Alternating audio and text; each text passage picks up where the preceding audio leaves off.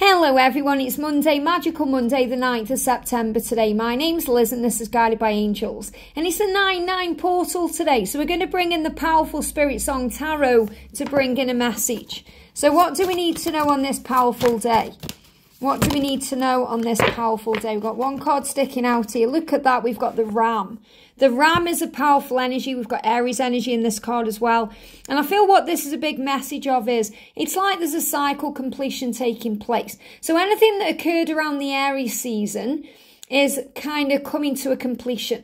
So if something happens, if you've been going through big changes since March, it feels like there's definitely a cleansing energy around today as we start this new week. You may feel healed from what's happened. You may feel like you've let things go. You may be in a much better energy than you were then. So it feels like there's been big shifts and changes since March, and now you're coming out the other side.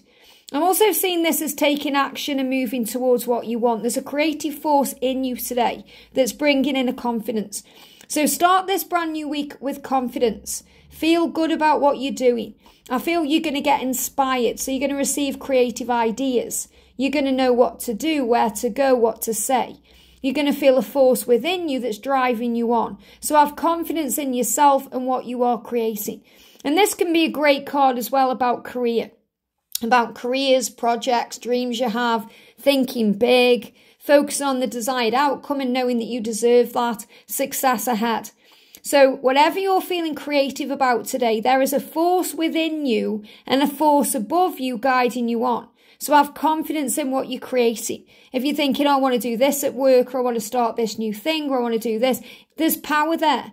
There's power there. So, believe in yourself and have confidence in what you're creating. Don't worry about um, competition or what other people say. You know your own truth. There's nobody like you, and nobody is doing it your way. So focus on that. Write down any ideas that are coming to you, if they're coming to you just by chance or in dreams or if you're receiving signs, write down what's coming to you because there's a creative flow around you today, a creative flow that's going to move things forward so that you can take action steps towards your dreams and desires.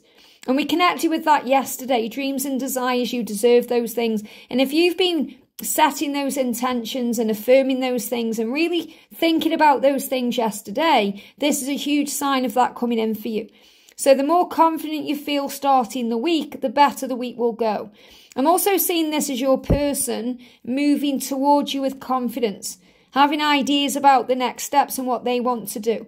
And they're showing me this acorn a bit like a pendulum. So you may want to use a pendulum today to get quick answers to feel safe, to know that you're at ease. You know, if ever I'm worried about something or dealing with any kind of stress, I'll grab my pendulum, ask my pendulum a question, and it calms me down. It brings in flow.